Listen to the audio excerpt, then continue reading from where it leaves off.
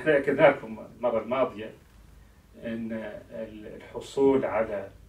الوثائق الرسمية سواء كان جواز أو بطاقه إنه حق للمواطن وأن الدولة لا تضع أي عراقيل أمام حصول المواطن سواء كان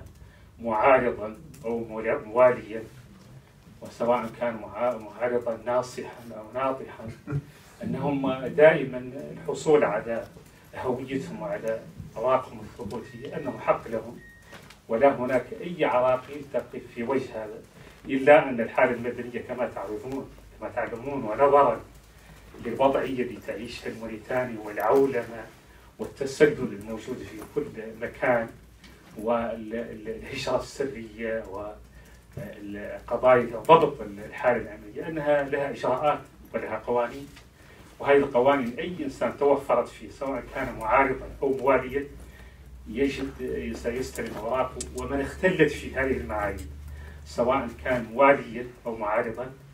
ستتوقع لن يحصل على هذه الأوراق ما لم يقم بإصلاح تلك الاختلالات. ولا, ولا وليست المعارضة طبعا وسيلة للحصول على الأوراق أو الإعفاء من هذه الإجراءات كما أن الموالاة أيضا ليست وسيلة للإعفاء من هذه الإشارات إنما الإشارات تطبق على الموالي والمعارض. ولعل البعض بكونه معارضا آه، يريد أن يحصل على أوراق أو يتساهل معه لكي لا يقول أنه منع من الأوراق لمعارضته هذا أيضا لن لن يجعل السلطات المعنية بهذه الإجراءات وهذه المعايير أن تتساهل تتساهل مع المعارض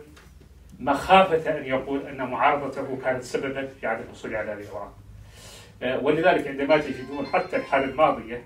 لما حصل صاحبها على أوراق وإشارة الأمور حسب المعايير اللي تطرحها